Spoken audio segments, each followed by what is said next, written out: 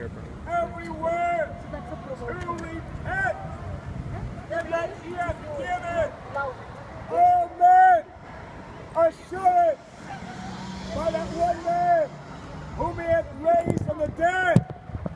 God commands you, people of Lansing, to repent of your sin because God has made a sacrifice for your sin. God has made an atonement for your sin. God's sacrifice for your sin is not the Lansing Lugnuts.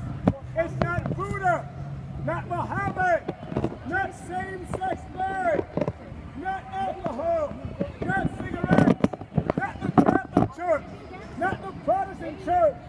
God's only sacrifice to remove your sin, to save you from sin, to deliver you from the hell that you're headed to, is only the Lord Jesus Christ.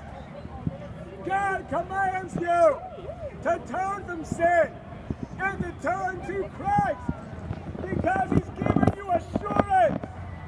God's assurance that Christ is the only sacrifice, that Jesus Christ is the only